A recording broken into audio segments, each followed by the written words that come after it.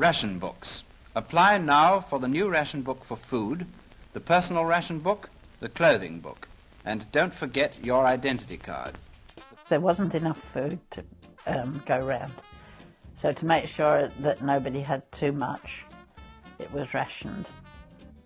Everybody was given uh, a ration book, and which was about four by four, and it was beige.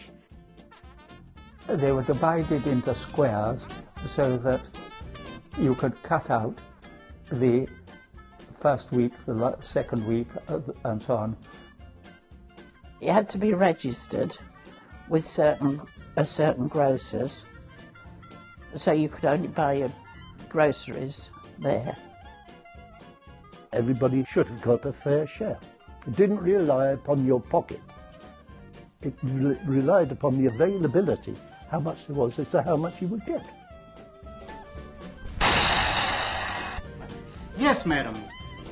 During this four-week period, you're entitled to an extra pound of sugar on every ration book. Fats, lard, butter, margarine, sugar, tea.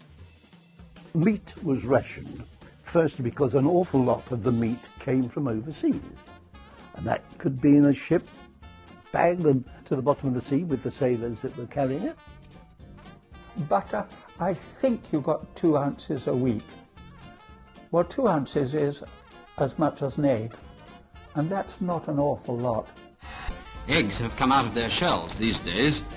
They've changed from this to this. I was very fond of eggs, and then we had to have eventually egg powder, powdered eggs, which we got used to.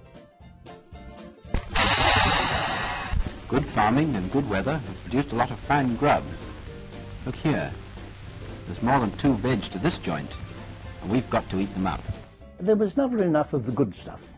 Oh, there was lots of things like potatoes and peas and greens. Fruit was in very short supply. I remember queuing up for oranges, which you got on a blue ration book occasionally. Otherwise, there were no oranges, no lemons.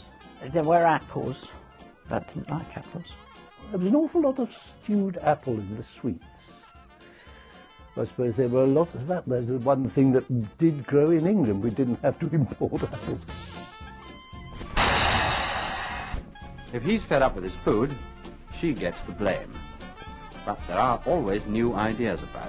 I think it was the drabness of the food that got one down, the sameness of it, that it was just eating for subsistence rather than for any kind of pleasure.